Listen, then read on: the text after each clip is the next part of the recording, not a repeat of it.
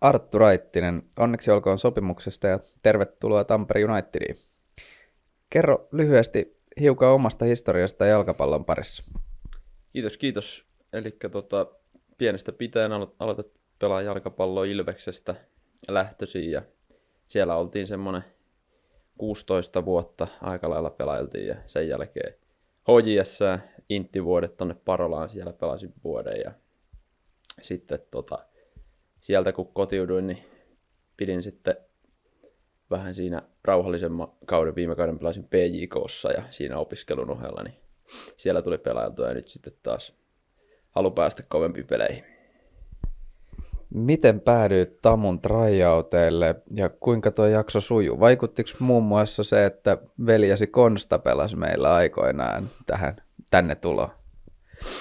Ei vaikuttanut kyllä Konsta millään lailla. Että tota, siinä oli jo mielessä kesken kaudenkin, tota, kun pelailin kolmosta, että nyt tekisi mieli vähän mennä pelaa haastavampaa, haastavimpia pelejä. Ja sitten tota, siinä pelattiin pari kertaa nokikkai viime kaudella Tamua vastaan ja sieltä pyydettiin, pyydettiin myös meikäläistä tänne pelaa ja, ja oli myös oma kiinnostus siinä mukana.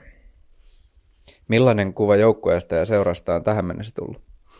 Hyvä kuva, hyvä kuva on, että erittäin paljon laadukkaita pelaajia on joka pelipaikoille muutama, että hyvä kuva. Kerro hiukan, että millainen pelaaja olet ja mitä pidät omina vahvuuksina ja missä on vielä kehitettävää? Mm, olen pelaajana semmoinen, tota, vahvuuksia on 1v1 pelaaminen ja sitten tilanteenvaihtopelaaminen ja nopeus. Nopeus on ollut itsellä aina hyvä pelissä ja kehitettävää kyllä myös löytyy tota, vaikka esimerkiksi syöttötyöskentely, pääpelaaminen yömässä.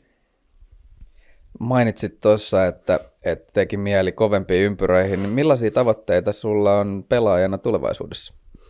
No tälle kaudelle mulla on ihan tavoitteena pelata eh, ehjä kausi, että tota, ja katsoa sitten, että kuinka pitkälle se riittää. Ja, ja, ja kova kausi varmasti tulossa myös kakkosessa, että joka pisteestä pitää taistella. Että ei ole sinänsä mitään yksittäisiä tavoitteita muuta kuin pelata niin hyvin kuin pystyy. Kiitos Arttu Raittinen. Kiitos.